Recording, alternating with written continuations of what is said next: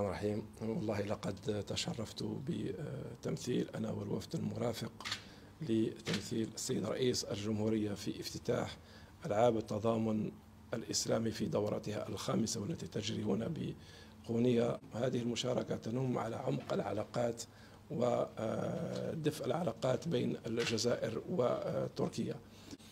أما بالنسبة للعلاقات الجزائرية آه، التركية فقد تشرفت بمقابلة مع السيد رئيس طيب آه، أردوغان رجب طيب أردوغان وهذا من أجل آه، تكريس ما قرره القائدان أثناء زيارة السيد رئيس الجمهورية عبد المجيد تبون إلى تركيا وتطرقنا إلى مختلف الملفات خاصة من الجانب الاستثماري ومن الجانب الاقتصادي من أجل آه، التكفل بمختلف مخرجات الاجتماعات والمقررات التي قررها الرئيسان والذهاب قدما نحو آفاق جديدة في آه، التبادلات الاقتصادية والتجارية والعلاقات الاستثمارية بين البلدين.